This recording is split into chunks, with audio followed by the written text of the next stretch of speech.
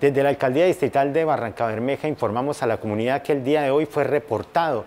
la urgencia crítica de un bebé de tres días de nacido en el Hospital Regional del Magdalena Medio, quien afortunadamente fue atendido e ingresado en la unidad de cuidado intensivo neonatal de la unidad clínica Magdalena, en donde a pesar de estar al 100% de ocupación, se logró adecuar un cubículo para atención de cuidado intensivo de este bebé recién nacido.